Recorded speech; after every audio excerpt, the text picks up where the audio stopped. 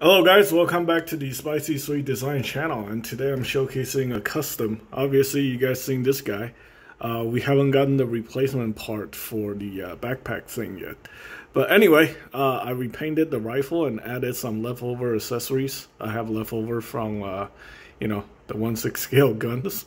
Uh, apparently this gun is big enough for these accessories to work.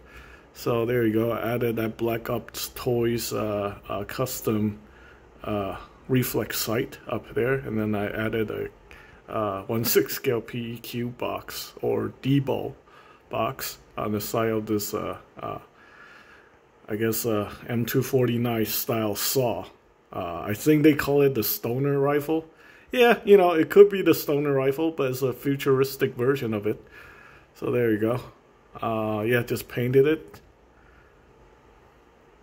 saying uh, I painted the barrel and then added some extra details.